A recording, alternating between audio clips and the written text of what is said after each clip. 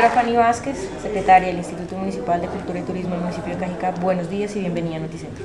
Buenos días y bienvenidos a ustedes. Gracias por acompañarnos hoy en este evento tan importante.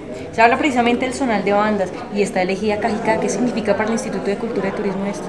Mucho. Es la primera vez que nos dan esta sede para Cajicá y lo hemos hecho realmente con mucho amor. Básicamente la organización ha sido parte de todos los integrantes. Nosotros somos un gran grupo de trabajo tenemos 33 docentes y la parte administrativa nos hemos unido para que esto salga de la manera como está saliendo, con todo el amor, como lo he dicho desde el principio, porque para Cajica es muy importante el grupo, las bandas. en las bandas tenemos más o menos 300 niños que están vinculados dentro de las escuelas de formación y que son básicamente la orientación que tenemos para el instituto.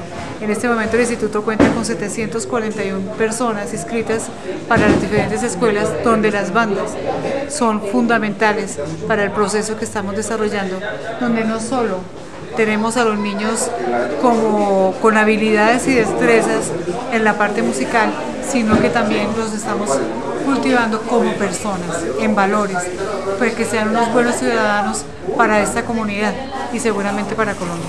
Doctora Fanny, ¿están listos especialmente la banda sinfónica para participar en Villeta? Estamos listos, nerviosos sí, hoy esperemos que sea esta eliminatoria sea muy buena para Cajica lo hemos luchado muchísimo, los niños se han, se han dedicado, están fortalecidos y creo que es importante, por ejemplo, en este momento para ellos poder pasar al eliminatorio Miguel.